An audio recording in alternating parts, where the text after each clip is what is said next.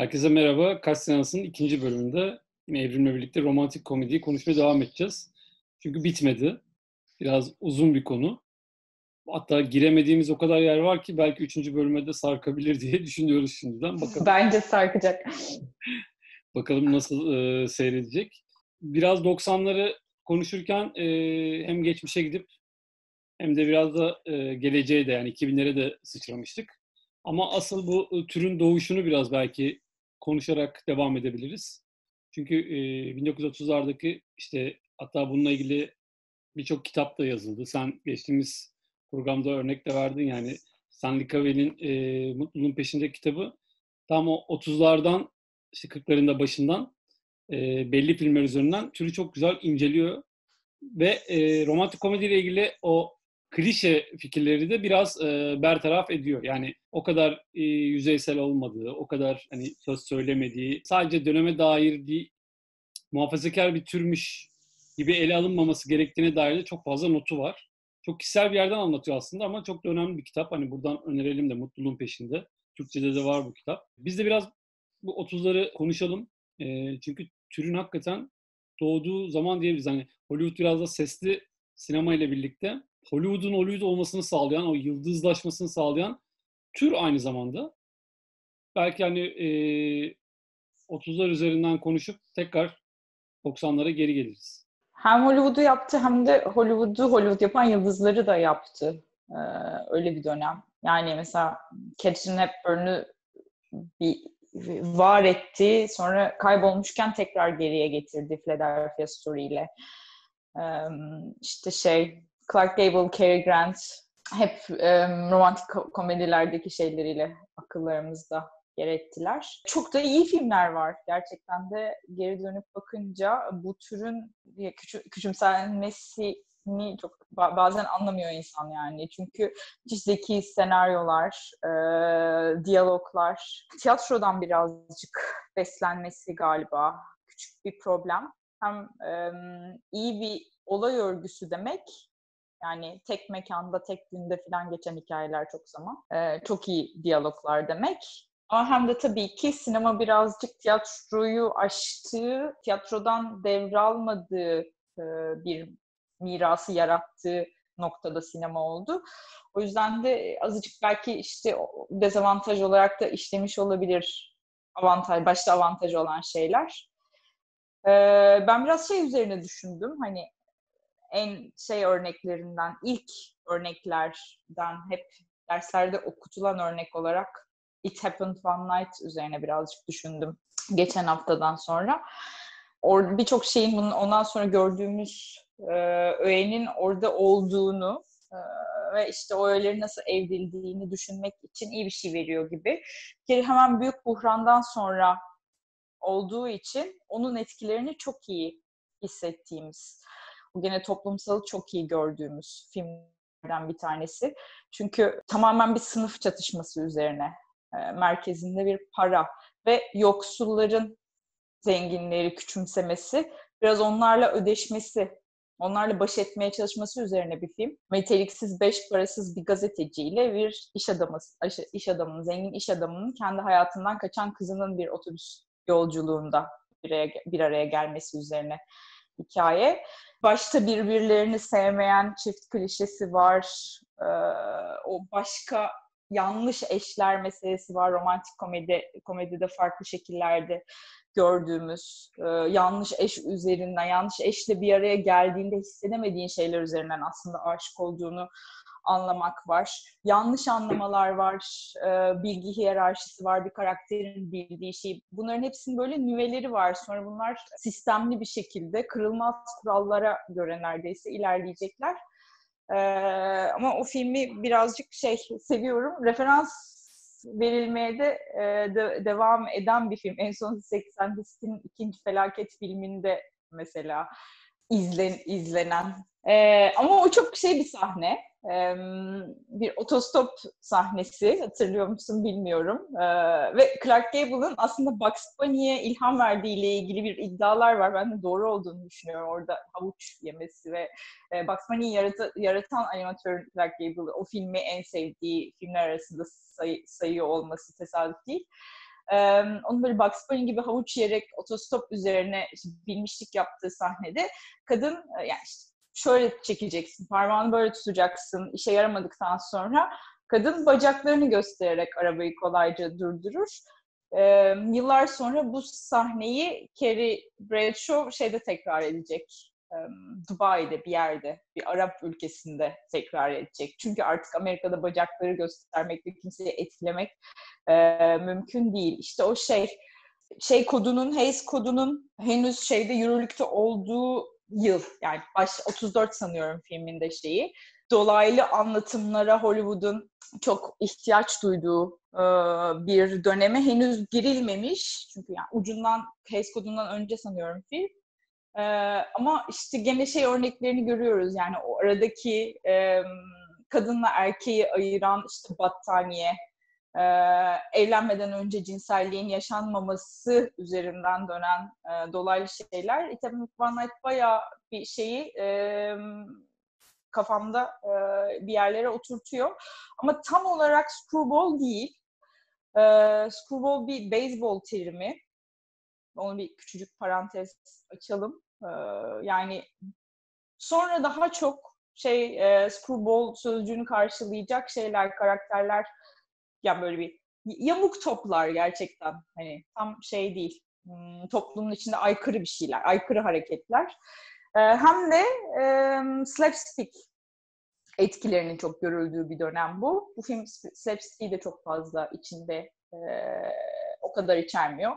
Ama mesela işte Bring Up Baby gene bir Catherine Hepburn filmi Cary Grant'le baştan aşağı tamamen bir, çiftin bir araya gel geçen hafta senin dediğin hani doğru kişiyi bulmak üzerine bunlar bu filmler ama o çift bir araya gelene kadar biz epey bir e, kaçma, kovalacama, düşme, saç çekme e, işte o filmde bir kaplan var onunla ilgili mizah.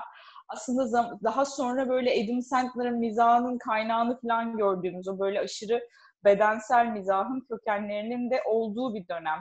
Yani romantik komedinin çok fiziksel bir kökenleri var. Bir gecede olduğu için e, Stanley Cavell'in bir cümlesi var. Yani onu direkt kullanmak istiyorum çünkü çok önemli olduğunu düşünüyorum. Şey diyor yani buradaki çiftin birlikte ne yaptığından çok e, birlikte nasıl vakit geçirdikleri önemli diyor. Aslında e, bence türü e, en önemli e, cümlelerinden bir tanesi bu. Yani birlikte nasıl vakit geçirdikleri. Çünkü romantik komedi öyle bir tür ki bittiğinde yani türün bence en güçlü şeylerinden bir tanesi bu şifrelerinden biri belki. Bittiğinde sonrasını hiç düşünmüyorsun bile. Yani bu çift ne yapar sonra, anlaşabilirler mi, hayatları nasıl devam eder? Bunları asla sana düşündürtmüyor. O an birlikte ne yaşadılarsa o büyülü olan, o, o, o bu inanılmaz böyle masal gibi olan hikayeyi sana bir şekilde e, kabul ettiriyor. O yüzden o çiftin birlikte nasıl vakit geçirdiğinden büyük bir haz duyuyorsun. Temel olarak da işte bu 30'lardan itibaren böyle böyle çoğalıyor. Gerçekten film bittiğinde onların anlaşıp anlaşmayacağı, nasıl bir hikaye olacağını hiç düşünmüyorsun bile. Bence türle ilgili en enteresan şeylerden bir tanesi bu. Stanley Cavell de biraz bunun da altını çiziyor. Yani bu çiftin birlikte nasıl zaman geçirdiği önemli diyor. Ben Benim en sevdiğim filmlerden biridir. Sadece bu türde değil, sinema tarihinde de e, en sevdiğim filmlerden biridir.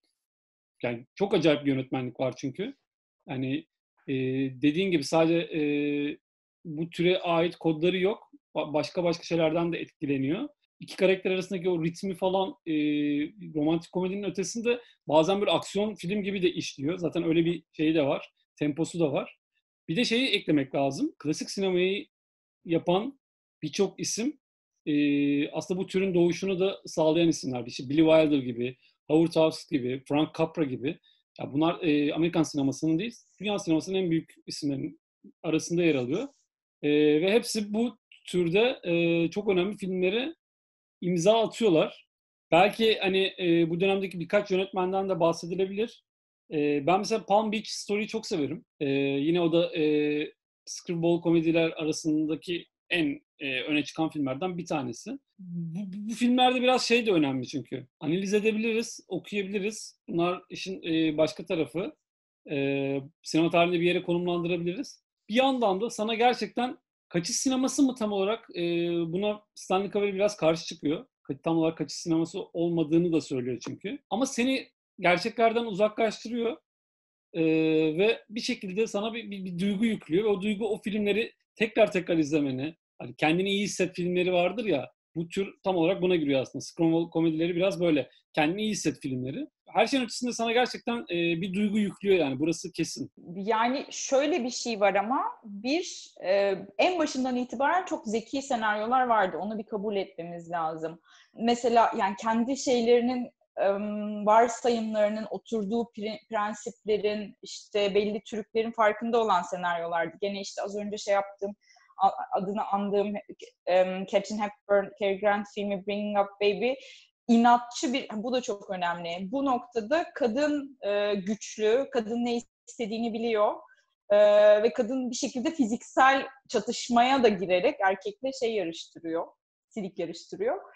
E, o mesela işte o adamı istediğini fark eden bir kadının e, bir gün içinde evlenecek e, şeyi e, başka biriyle evlenmek üzereyken yolundan çevirip elde etmesinin hikayesi.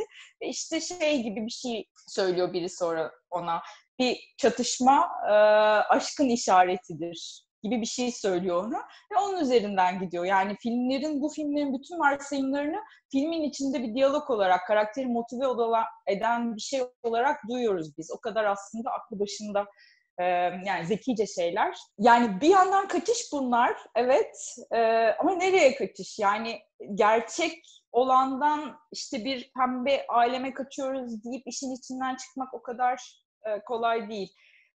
Yani kim neyin daha doğru olduğuna nasıl karar veriyor? Her zaman romantik komediler ve aşkın kendisi akla karşı, mantığın egemenliğine karşı e, duygulardan, içgüdülerden yana bir şey. O yüzden ilk, o ilk dönem screwball'larda olan önemli bir tema yani hayatın bir anda alt üst olması. Olacak e, planlanmış şeylerin e, yolundan dönmesi ve daha duygulara yakın ama aslında daha insani sonuçlar alınması. Şimdi gerçek hayatın böyle olmaması belki bazen gerçek hayatın ayıbı. Çünkü e, daha bir adalet duygusunun, daha küçük insanın ha, hayattan beklentilerinin karşılanmasının sonucu sonuçta karşımıza bir resim olarak çıktığını görüyoruz.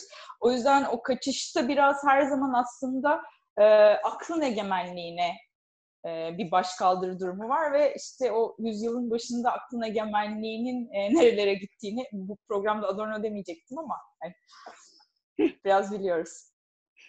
E, ben bu e, screwball'ların kodlarını belki daha iyi görebilmek için bir 80'lere gideceğim. E, çünkü yani sen tekrar istersen dön. Çünkü James Brooks'un e, bu türe çok hakim olduğunu düşünüyorum. Özellikle screwball'ları gerçekten e, hatmettiğini ve filmlerine çok iyi yerleştirdiğini düşünüyorum. Ve şunu yapıyor.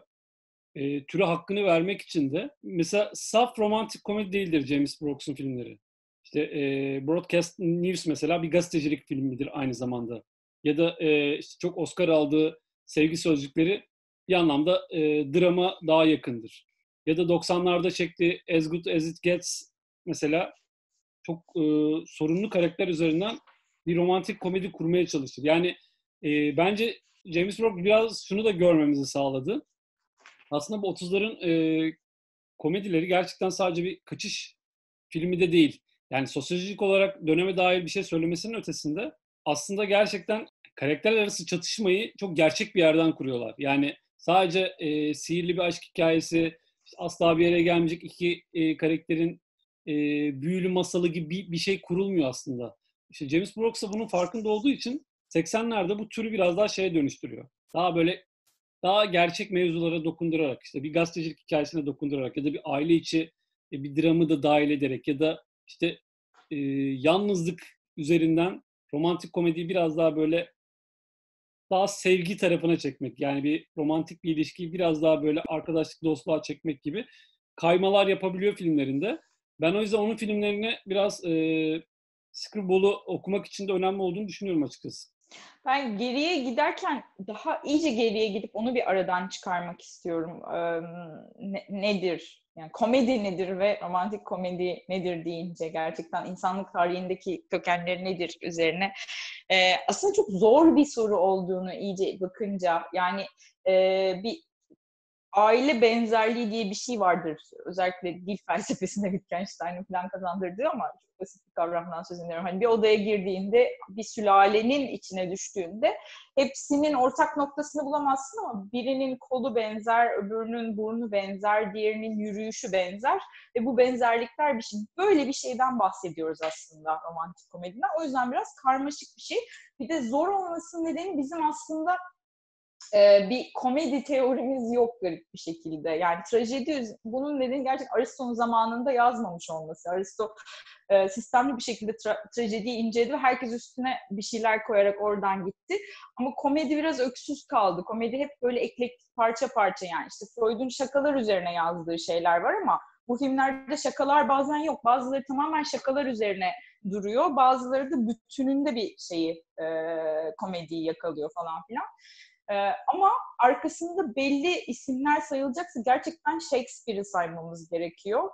Ee, bu işte şeyde It Happened One Night'taki o birbirini başta çekemeyen e, tip ondan sonra iki, iki insan birbirini başta çekemeyen insanlar e, çok olağan bir şey oldu. Başka türlüsünü düşünemediğimiz hani iki romantik komediden birinde gördüğümüz o çekişme e, aslında bunun bir şeyi var. E, birçok senaryo Shakespeare'in bir şeylerine gidiyor zaten. E, çok doğrudan uyarlamalar da izledik biliyorsun. E, hani e, bir sürü şey e, Taming of the Shrew, işte Ten Things I Hate, Hate About You'da olduğu gibi işte bir kadın erkeğin çatışması. E, hep oraya geri dönen işte e, As You Like It'teki kadın kılığına giren erkeğe başka birisinin aşık olması ki Shakespeare döneminde oyuncular şeyde oldukları için kadınları zaten erkekler canlandırdığı için onların bir daha kadın kılığına girmesinin paradoksları falan. bu miraslar oradan alındı. Şey şey çok bariz ama bu birbirini çekemeyen ama aslında filmin sonunda bir araya gelecek tipi aslında ilk olarak Much Ado About Nothing'de gördük. Ee, ve o bir İtalyan hikaye anlatılan daha önce yazılmış bir hikaye tekrar anlatıyor Shakespeare bir aşk hikayesini. Ee, fakat içindeki o e, iki karakter birbiriyle iyi anlaşamayan aslında aşık olan ve bir geçmişleri olan karakter Beatrice ve Benedict tamamen Shakespeare'in eklediği bir şey. Bir tek onu eklemiş ve oradan romantik komedilerin yarısının şeyi benzini çıkmış. Ee, o mirası ama ideolojik olarak da kökenleri gene böyle eski şeyden Yunan'dan beri olan e, Aristofanes'in mitolojik olarak şey diye açıkladığı e, buna gerçekten inanıyordu galiba. Yani eskiden kadınlar ve erkekler işte bazen de kadınlar ve kadınlar, erkekler ve erkekler iki kişi tek bir bedeni paylaşıyorlardı. Dört kol, dört bacak, e, dört göz, iki kafa. E, tanrılar onları cezalandırdı. Ortadan ikiye böldü ve sonsuza kadar o yarıyı arıyorsun. Bütün bunlar aslında o kadar gerilere gittiği için hiç de kaybolmayan öğeler. O yüzden işte ilk romantik komedide de bunlar vardı. Son romantik komedide de bunun başka şekillerini göreceğiz diye böyle uzun bir tarih parantezi açtım. Şunu söyleyeceğim tam olarak. Romantik komedide tabii ki e, bu gelenekler devam ederek ve bir sonraki döneme aktararak varlığını sürdüren bir tür. Ama yine de mesela Philadelphia hikayesinin o, o düğün üzerinden dönen o bütün çatışmalar, bütün e, türün, bütün dönemlerinde varlığını sürdürmesi, yani bu kadar e, klasik bir filmin bu kadar gölgesinin hissedilmesi bana biraz şey geliyor, garip geliyor. 90'lardaki birçok film mesela e, 30'larda 40'taki filmlerden referansı bile aşan bağlantılar var gibi görüyorum ben. Sen de böyle düşünüyor musun? Öyle düşünüyorum yani düğün meselesini takip ederek mesela bütün bir sinemanın yüzyılını takip şey yapabiliriz, izlemiş olabiliriz. Biliyorsun Eternal One Night da şeyle bitti. Kızın şeyden kaçmasıyla, son anda kaçmasıyla bitti. Ee, bir işte Philadelphia Story bir düğünün başka bir düğüne, damadın değişmesiyle bitti artık bunun çok farkında olan e, 90'lar gelip Runaway Bride'ı yaptı. Yani Julia Roberts'ı e, bir seri düğünlerden kaçan geline dönüştürdü. E, o film de mesela çok tür üzerine düşünmeye devam eder. Hani e, birisi Julia Roberts birden şeyle yüzleşir. E, İngilizce ifade etmek istemiyorum. Kendine göre hoş bir, bir hoşluğu olan tuhaf yani iyi anlamda tuhaf bir karakter olduğuyla yüzleşir. Arkadaşı, her, kendi kocası dahil herkesle flört ettiğinden e, rahatsız olmadığını çünkü onu öyle kabul ettiklerini söyler ve Julia Roberts bir şey aydınlanması yaşar. E ben ben gerçekten arıza bir karakterim. E, arıza bir karakter e, diye bir şey vardır çünkü romantik komedide e, ve o başından sonuna devam eder. Bazen kadın arızadır, bazen erkek arızadır. Genelde kadın arızadır. Çünkü bu şeyin patriarkanın koruyucu şemsiyesinin ya, bu adam eve ekmek getirecek ne olursa olsun rahatlığıyla seyirci çünkü sinemadan ayrılır. Patriarkanın koruyucu şeyleri. Ee, işte Barefoot in the Park'ta kadın adamı şey yapmaya çalışır. Sonra biz bunu do, işte gene 90'ların sonunda Dharma ve Greg diye bir dizi olarak izledik filan. Ee, hep aynı şeyler dönüyor. Ya yani ben inatla hep aynı yere geri dönüyorum. Onların çok daha eski, çok daha um, eski olmasın dedim de öyle özcü bir yerden konuşmamaya çalışıyorum ama insanların gerçekten içinde olan bir şeyleri e, aşırılaştırarak, uçlaştırarak e, o mesela kendine özgü, biraz tuhaf olan karaktere aşık olma işte aslında Ulus Baker'in şey dediği o, o başka bir dünyanın yerlisi, başka bir dünyanın zarafeti e, ne ararız aşkta. Yani burada bir şey gibi hani karada kalmış e, yengeç gibi düzgün yürüyemiyordur ama onun kendi dünyasında çok evde olacağını, oranın e, zarafetini taşıdığını düşünürüz diye açıkladığı şeyi e, karşılıyor olması. O yüzden şeyler e, bazı öğelerde kayboluyor ama onları kabul etmemiz lazım. E, mesela Philadelphia Story'nin girişi çok iyi bir örnektir. Philadelphia Story'nin girişi çok e, okutuluyordur eminim her şeyde. Romantik komedi ya da screwball ya da işte Hollywood tarihi dersinde. Çünkü tamamen slapstick ve tamamen sessiz sinemadan yeni çıkmış bir sinemanın e, etkisiyle çekildiği çok bellidir. E, o şeye kadar, hikaye açılana kadar bir ön oyun vardır çünkü. Hani Cary Grant'i evden atıyor Catherine Hepburn. Eşyalarını işte golf sopasını kırıyor. Cary Grant Catherine Hepburn'u yere yapıştırıyor. Ağzın açık hiç komik değil ve filmin sonunda Cary Grant'a geri dönecek ve o senin az önce dediğin işte Stanley Cavell'in şey yaptığı adını koyduğu hiç önemli değil sonrası yani. Onlar o saf mutluluk o saf uyum. Halbuki evlenmiş boşanmış ve boşanmadan sonra bir şiddet anlarını tanık olduğumuz bir çiftin tekrar sonsuza kadar mutlu yaşayacaklarına inanıyoruz. Ee, bazı şeyler sadece feminizmle falan açıklanamaz. Bazı şeylerin geride, e, bazı oyunlar geride kaldı. E, ee, belki, bazı öğeler devam etti. Belki bunun şeyle etkisi vardır. Yani bence de tabii ki dönemle e, çok alakalı olmakla birlikte iki türün e, bir şey olduğu için bir kombinasyon olduğu için aslında romantik komedi. Yani Bence şey hiç değişmiyor. O masallardan, o efsanelerden alınan o büyülü kısım, o finaldeki kısım değişmiyor hiç. Ama öncesindeki kurulum değişebiliyor. Yani öncesi çok daha aksiyon vari bir şey de olabiliyor.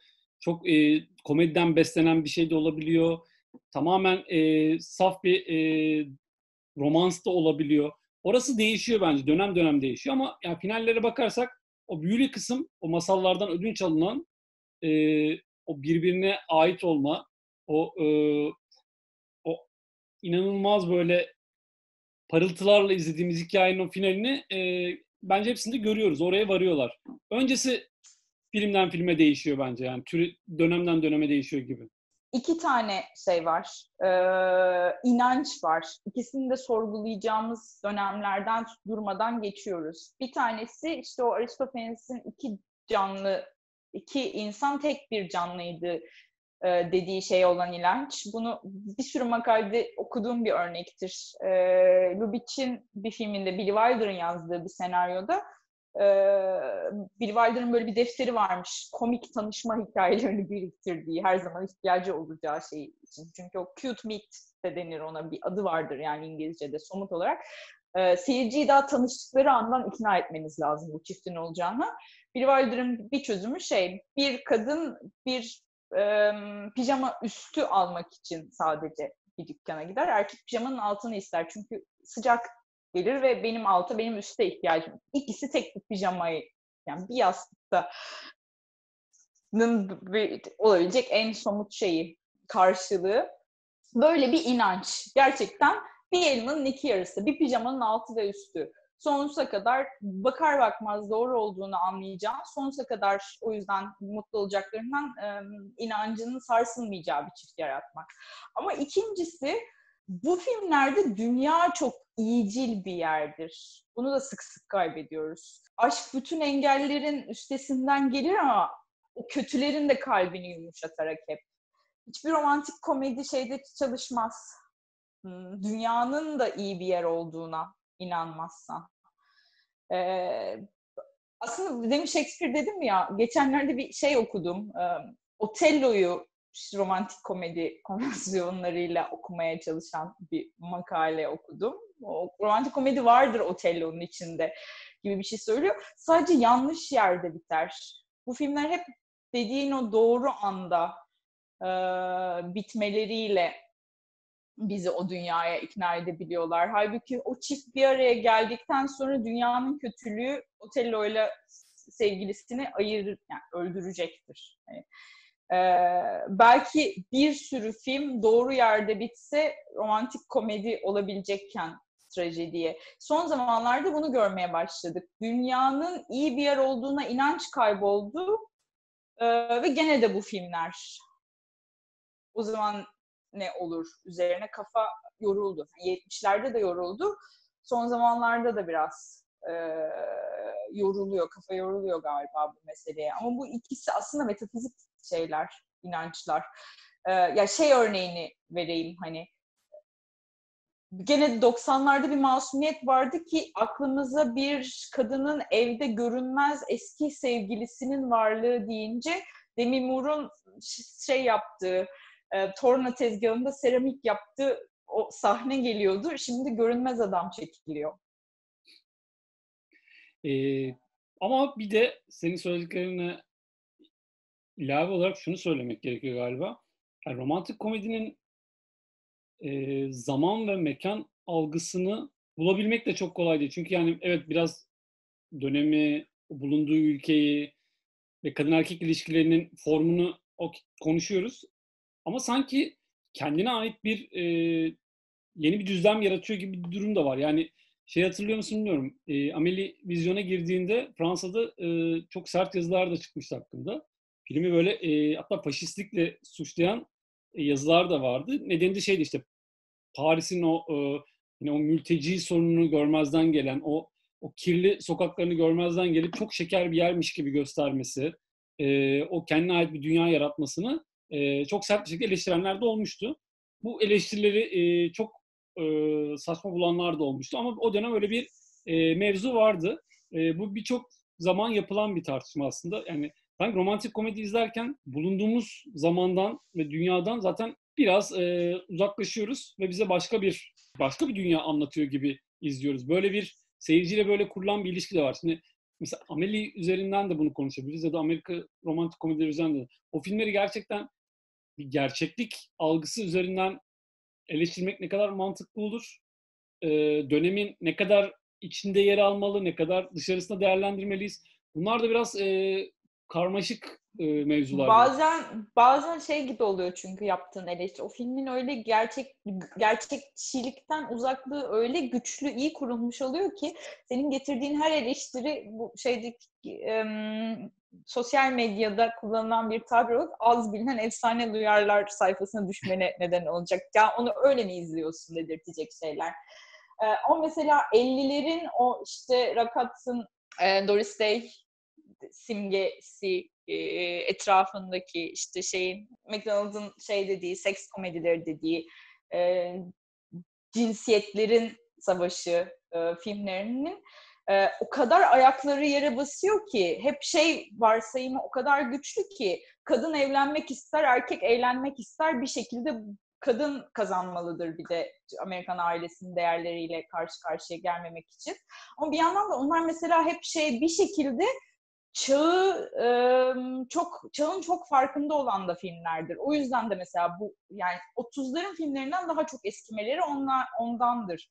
Hem ideolojik olarak hem şey olarak estetik olarak çağa çok fazla yans, yaslanırlar. Mesela en meşhurlarından bir tanesi belki en meşhuru olan 1959 tarihli Pillow Talk o zamanın bir fenomeni olan iki kişinin aynı hattı paylaşmasından doğan e, komik olaylar üzerine kurulu bir şeydir. E, o teknolojiye alışmakla ilgili bir varsayıma dayanır ve özünde işte gene Rakatsa'nın bir e, kafeslenemez bir çapkın olması ve şeyin onu en sonunda evliliğe ikna etmesi e, üzerinedir. Sonra e, birkaç sene sonra That Touch of Mink diye bu sefer Cary Grant ile Doris Day'in oynadığı bir filmde e, yine evlenmekten başka bir şey istemeyen Doris Day ile hiç evlenmek istemeyen Cary Grant'in ilişkisi. Bu sefer böyle semboller şeydir, böyle o şey sahnesi vardır mesela. bir yemek yedi, yenilen bir yerde böyle küçük şeyler anlatmak bile zor. Bölmelerin içine yemekler servis edilir ve bir işte Doris Day'in arkadaşıyla o bölmelerin arkasından konuşmasını uzun uzun izleriz. Şeyi fark ederiz. Ee, o çağın yeniliklerine, teknolojinin yeniliklerine ayak uydurmaya çalışan karakterdir bunlar. Ahlakları da o çağda değişen ahlaka uymaya çalışır ve onun o filmin indirgemeciliği e, evlerden ırak hiçbir yerde yoktur. Şey somutlaştırır meseleyi.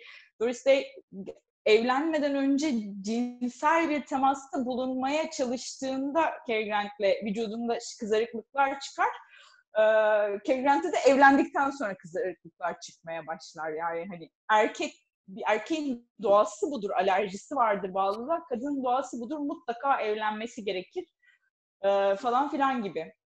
Şeyi hep e, şeyden kaçırıyor, gözden kaçırıyoruz galiba. Döneme baktığımızda o dönemin hep o insanlar için de yeni olduğunu, e, uzun yani her çağın böyle bir 10 senede 20 senede bir çok değiştiğini e, ve onların da aslında e, bir şey bizim şu an bu çağın yenileri olduğumuz gibi onların da yaşadıkları dönemin yenileri olduğunu e, ak- akılda tutmak gerekiyor. O 50'ler o kanal e, ama şey değil mesela e, yine dediğim işte, o kitabı kullandım e, zamansal olarak kafamda bir şey kurmakta dedim ama çok yanlış bir şey yapıp o 50'leri seks komedilerine indirger mesela o.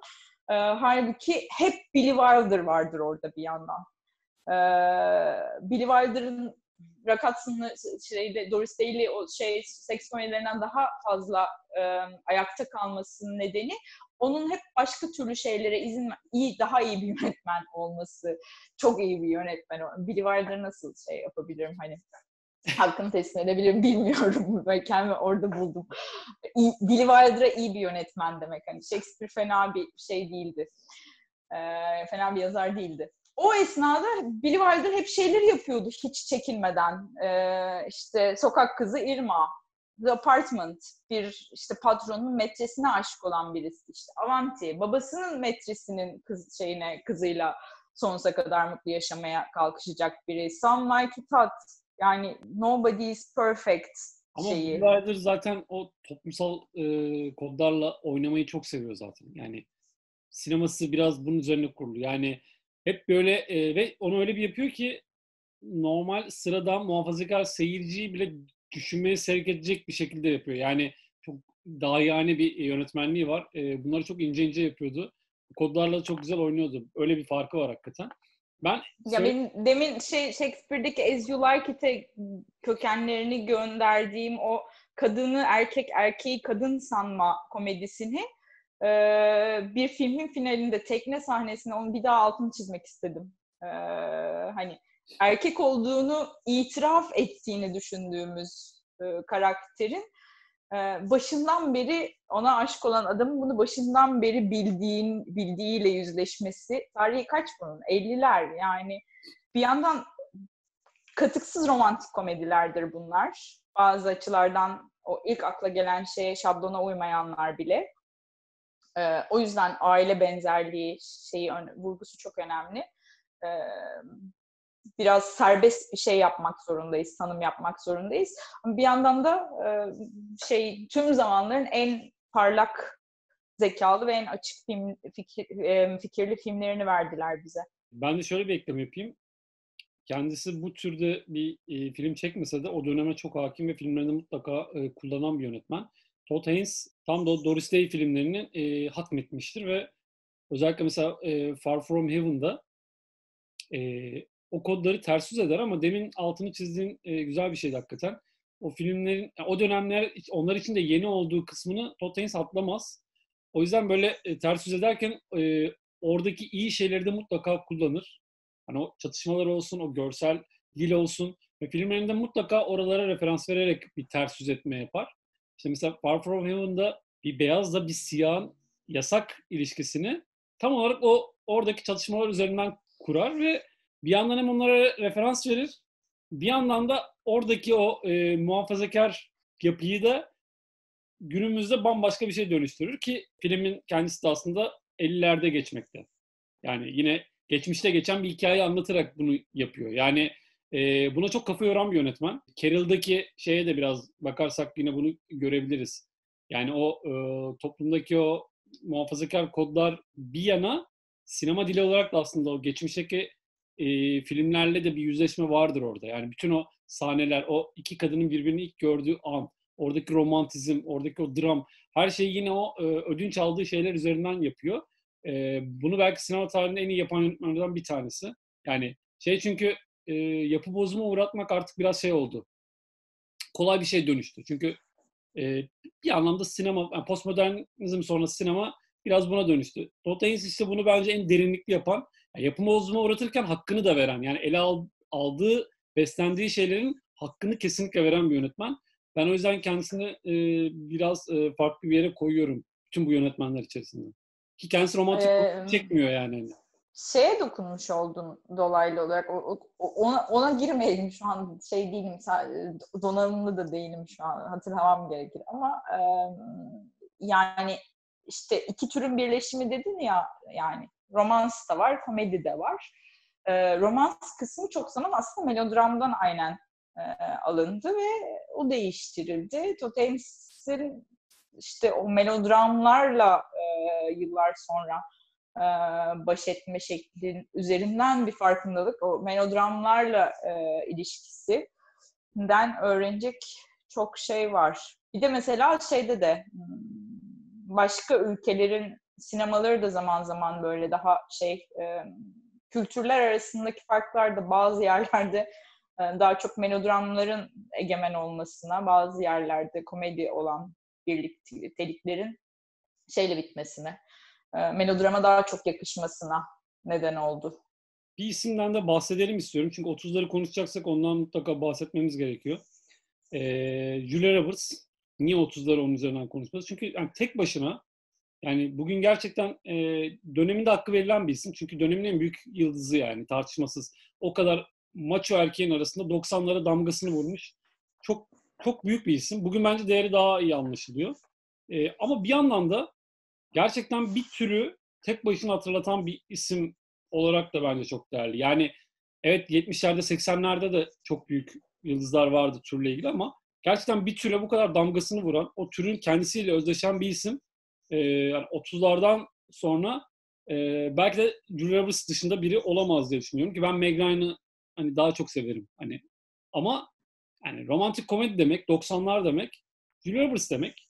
E, ve baktığımızda aslında tipiyle, mimikleriyle, vücudunu kullanma biçimiyle de çok orijinal. Yani bir benzeri de yok aslında baktığımızda. Yani işte e, ağzının büyüklüğü olsun, o gülüşü olsun, e, erkeklerle kurduğu o e, şey dinamizm olsun aradaki her, her şeyde çok farklı bir isim. Ve bence bir anlamda tür üzerine düşünmeye yol açacak ve insanları böyle 30'lardaki romantik komedileri e, götürecek kadar da güçlü bir isim olduğunu düşünüyorum açıkçası. Ee, yani şeyle Pretty Woman'la başlatmak gerekiyor herhalde. O da şeye gidiyor. Gene çok defalar uyarlanan. Audrey Hepburn'u hiç anmadık bu arada ama işte biri vardır aslında birazcık oydu yani. İşte gene Sabrina'yı falan da konuşmak gerekir. Başka bir sonsuz zamanımız oldu bir paralel evrende. Roma tatili. Ha işte mesela şey bir şekilde roman tatilinin arkasında o e, It Happened One Night vardır e, falan filan. Ama ben şeye gelecektim. Pygmalion'ın bir tür uyarlaması ya Pretty Woman.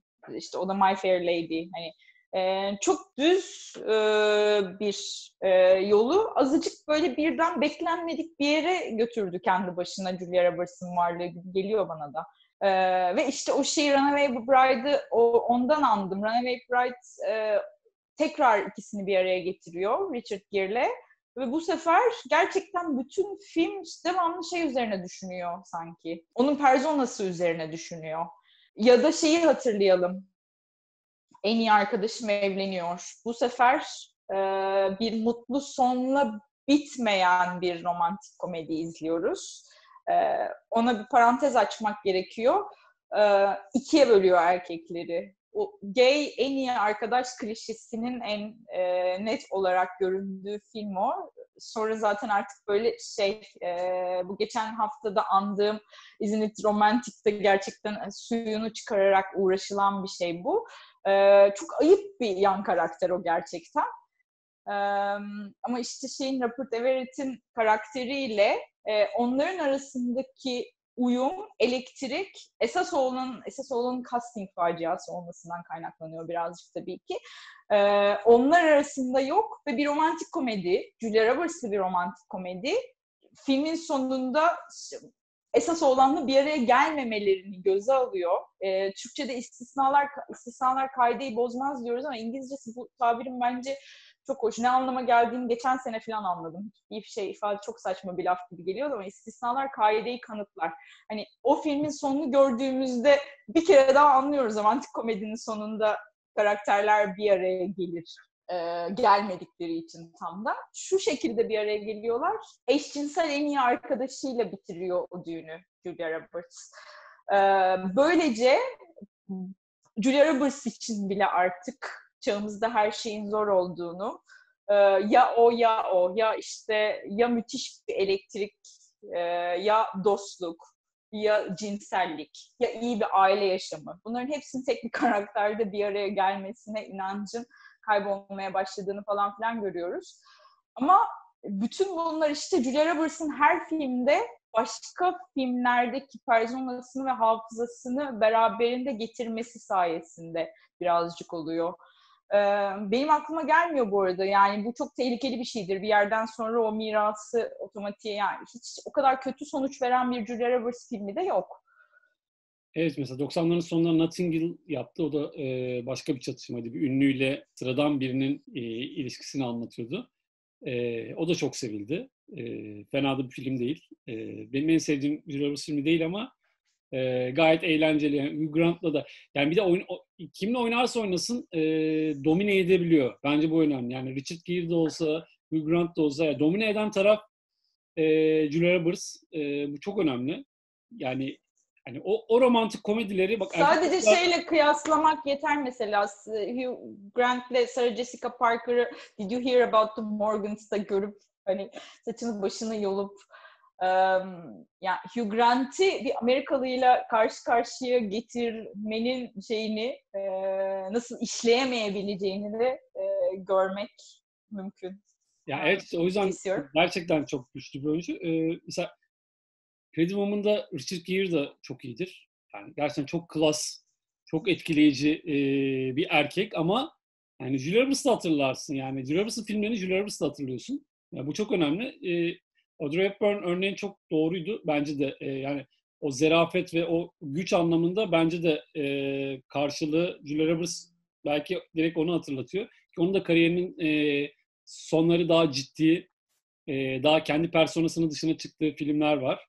E, o yüzden e, bence de karşılığı olabilir. E, Julia Roberts'tan sonrasının gelmemesi de hani bence çok şey söylüyor. Yani gelmedi sonra yani. Julia bir yeni bir ya bunun tabii ki bunu e, üçüncü bölüme kaldı. Çünkü e, süremiz e, doldurduk gibi. 2000'leri konuşacağımız bölümde belki bunu e, tartışırız. Neden yeni bir yıldız çıkmıyor kısmını. E, yavaş yavaş kapatalım. Julia Roberts'ı da e, hakkını teslim ettikten sonra. Senin eklemek istediğin bir şey var mı bu bölümle ilgili? Yok, yok ben şimdi şey Pretty Woman'ı e, dinleyeceğim kendime. e, ben de geçen hafta sen e, e, programı çektikten sonra tabii ki canım e, romantik komedi izlemek istedi. E, ve şey izledim yani bir tanesini seçmem lazımdı. E, Sandra Bullock'un e, Sen Uyurken'i çok severim. O karlar altında böyle çok güzel bir hikayedir. O da böyle e, Sandra Bullock'un o kadar başarılı değildir Julia Roberts Meg Ryan kadar filmleri ama e, en iyi filmi bence. E, buradan onu izlemeyenlere önermiş olayım. Onu izledim. Şimdi bir tane daha izleyeceğim bu hafta. Tamam. Bu hafta belki aynı filmi üzerine birazcık Olur. konuşalım. Tamamdır. E, haftaya e, bu kez bitireceğiz. Üçüncü bölümde romantik komedi e, ile ilgili. Yani bitmez gerçekten ama biz bitireceğiz. ben, ben bir 10 hafta gidebilirim ya. e, 2000'leri de konuşacağız haftaya ve e, sonraki hafta bambaşka bir konuya geçeceğiz. E, haftaya görüşmek üzere. Hoşçakalın.